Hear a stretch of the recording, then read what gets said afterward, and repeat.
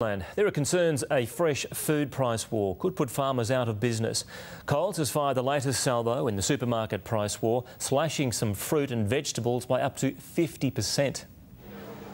Whether they're sliced, diced or chopped, vegetable prices are down. Well, in some cases we're talking about up to 50%, so real deep discounts on a, on a range of popular fruit and vegetables. Ideal weather conditions have led to bumper crops for many growers, Coles cashing in by purchasing huge volumes at a discounted price.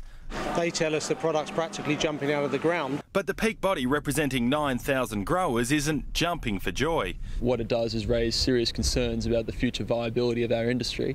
While Coles suppliers stand to benefit from an increase in bulk sales, it appears many smaller growers will be left out in the cold. What happens when the glut's over, when there's a spike in the prices does the agreed price with farmers stay as it is? How are we able to keep doing this sustainably and keep doing it so a grower is able to uh, feed himself and feed the family?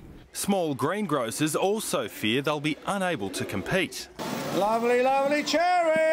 They got car park, they got advertising, they got all the convenience. Uh, we got half a price of them, but still uh, a lot of people, they go there. A price war between the two supermarket giants is now on the cards.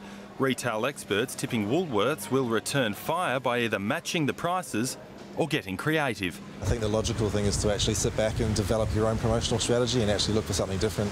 While shoppers have another reason to opt for healthy meals. Less takeout.